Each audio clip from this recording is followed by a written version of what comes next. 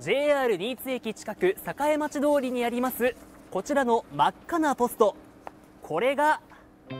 色が変わりました。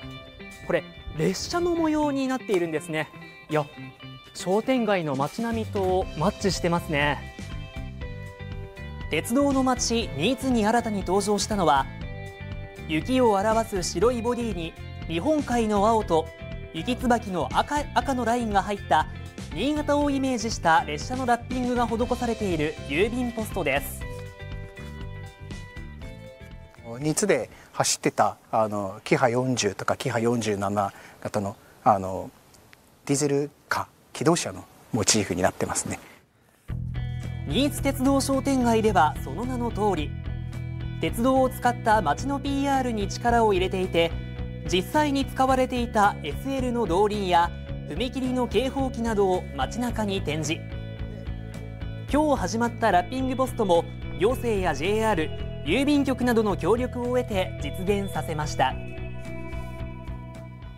商店街にお客さんが来ていただいたりとかまた新津猫の秋葉区が盛り上がる一つのきっかけになると思うので、はい、また起爆剤にもなってもらいたいなと思います。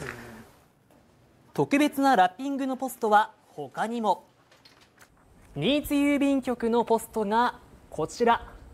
新津に馴染み深い SL のデザインになっています。こちらは SL 万越物語でおなじみの C57180 今週土曜日にはその SL 万越物語の運転も再開することから街のさらなる盛り上がりが期待されます。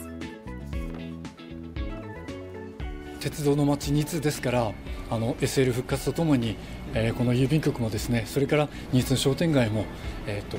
一緒になって、え、この街を盛り上げていければと思ってます列車旅の思い出を手紙にしたため鉄道の街のポストから投函するのもいいかもしれません。